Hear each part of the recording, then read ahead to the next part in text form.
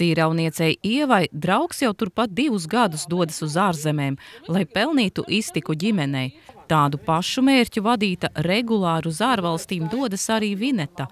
Kā atzīst abas cīraunieces, tad pagaidām tā ir vienīgā iespēja, lai savilktu galus kopā.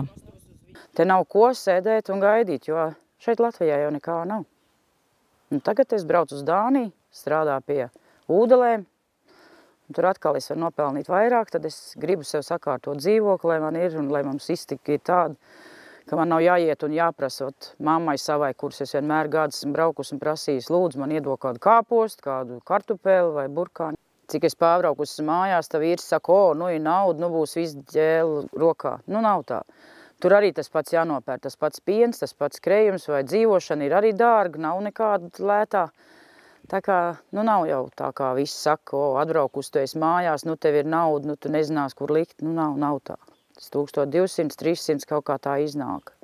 Bet tā kā es braukāju lidinos pa visurienes, vienu mēnesi tur, divus tur, tā kā es viņus sadalu vismaz, lai man iznāk tajā kontā kādu kapeiku palikties pāri, lai aizbraukt un atbraukt un nopirkt kaut ko. Tā kā nu nav jau tik viegli jāsadala viss tā naudiņa, lai iznāk. Vajag, tad es pārskaitu, ja nē, tad es atbraucu mājās, to, ko mēs esam vēlējušies lielāk nopirkt, to mēs nopērkam uzreiz. Tā kā nav man jādomā, kur es dabūšu vai aizņemšos, un, un tad es zinu, ka es esmu ielikus tās savus ar rokām nopelnīto naudu tajā mantā, ko es gribu. Nu, tie tēriņi jau aug ar katru dienu, un, un līdz ar to nu, tad, nu, bija tā, kā bija.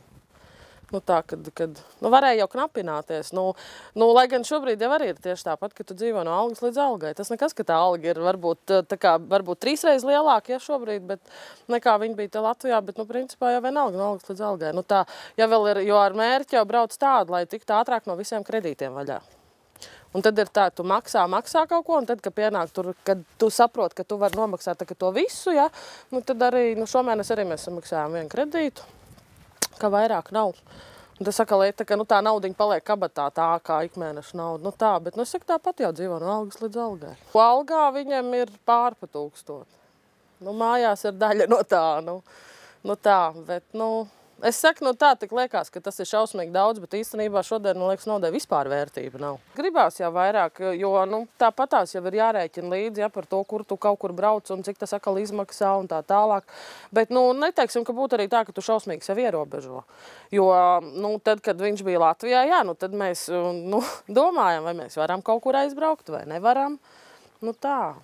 Es saku, no citiem apkārtējiem liekas, ka tev tur strādā ārzemēs, tev tagad ir baigā nauda. Nu, patiesībā jau tā nav. Nu, nav tā.